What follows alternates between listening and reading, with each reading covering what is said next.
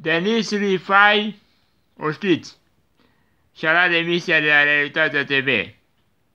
În sfârșit nu mai văd pe Denis Rifai, deci tipa aia chiar e insuportabilă ca realizatoare. Pe bune, deci crizele ei chiar nu le suportam. În sfârșit!